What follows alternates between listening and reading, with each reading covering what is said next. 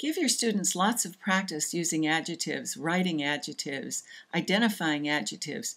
They really enjoy it, and it solidifies their knowledge about adjectives before you move on to adverbs.